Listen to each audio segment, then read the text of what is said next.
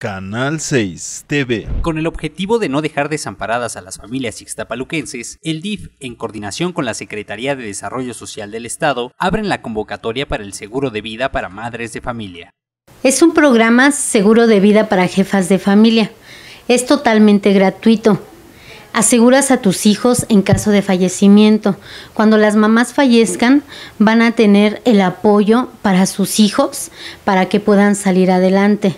Con este programa, las familias que hayan sufrido el deceso de la mamá recibirán un apoyo económico para que los hijos de 1 a 23 años de edad puedan continuar con sus estudios y no verse desamparados. Cuando ellas fallecen, viene, queda un tutor y ellos son los que van a venir a informarnos de pues que ya falleció y nos van a dar los nombres de las personas para que se les pueda empezar a apoyar.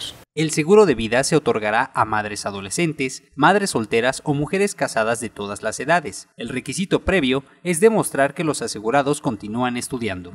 En mi caso soy madre de familia que no tiene un trabajo con seguro social, trabajo por mi cuenta, ahora sí que tengo un pequeño negocio, pero este, no tengo seguro de vida. Entonces esto para mí es algo muy bueno para mis hijos, asegurar a mis hijos, tengo tres, una está en la universidad, mi niña va a la secundaria y el chiquito la primaria. Y está muy bien el seguro de vida para, para los niños, para que sigan estudiando, porque es un, apoyo que requerimos nosotras las madres solteras y que está muy bien.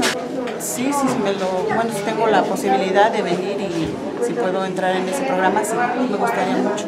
La convocatoria se abrirá el viernes 3 de agosto y aquellas mujeres interesadas deberán presentar en la Coordinación de Atención a la Mujer del DIF la siguiente documentación: acta de nacimiento, CURP actualizado, credencial de línea al 200% y CURP de los asegurados. Para más información, usted puede ingresar a la página de Facebook smdf.ixtapaluca o llamar al teléfono 59720647 extensión 105. Reportó para Canal 6 Javier Gutiérrez.